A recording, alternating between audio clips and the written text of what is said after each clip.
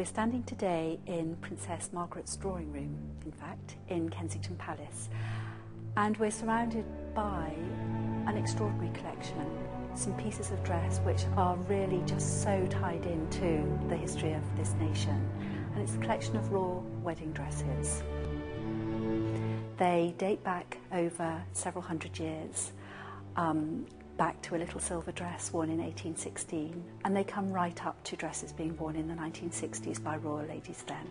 Traditionally, royal brides wore gold and silver. It's heavy, it speaks of status and cost. Royal wedding dresses have always been occasions of, of public interest. As time has passed, of course, greater and greater numbers of people um, have been in a position to make that kind of sort of emotional investment, to, to take a part in that, you know, in the occasion. It's interesting going back to 1840 when Queen Victoria marries, that there was a tiny procession and a few thousand people could line the route and a few more could climb the trees and that was the best you could do.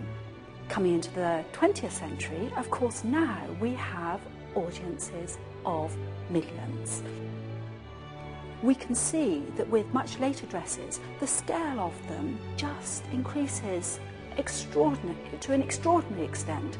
They th- those dresses have to be able to compete with that you know, the, the Gothic architecture of, of Westminster Abbey.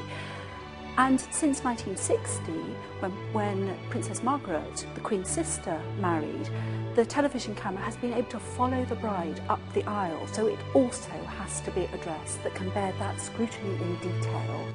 Looking at the collection of royal wedding dresses here, you can see that each of them has in fact become a really interesting sort of document for its time.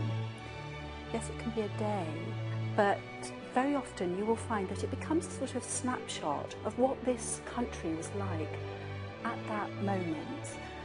You will find that the care and thought that go behind these dresses means that you actually see what was important to people.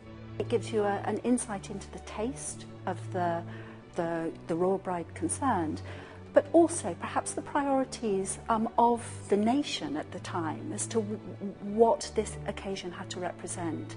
I think Catherine will be, have been very thoughtful about making her dress.